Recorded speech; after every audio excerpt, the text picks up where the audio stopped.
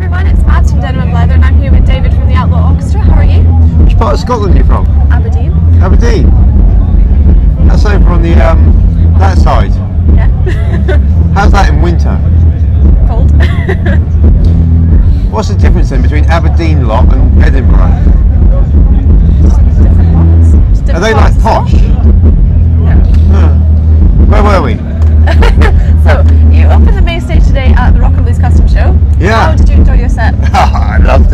Great. Um, our bass player wasn't with us today. Um, he unfortunately is on a beach somewhere in Spain. He could have been here.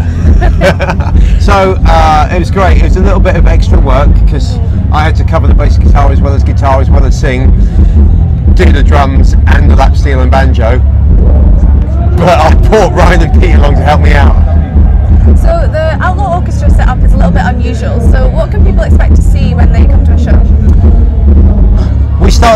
Bluegrass band, acoustically. We're a bluegrass band, banjo, lap steel, small drum kit, and a Dobro's guitar.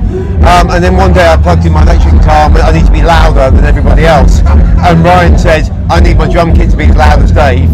And Pete said, I've got an electric banjo, and then we got louder and louder, and then the rock world embraced us.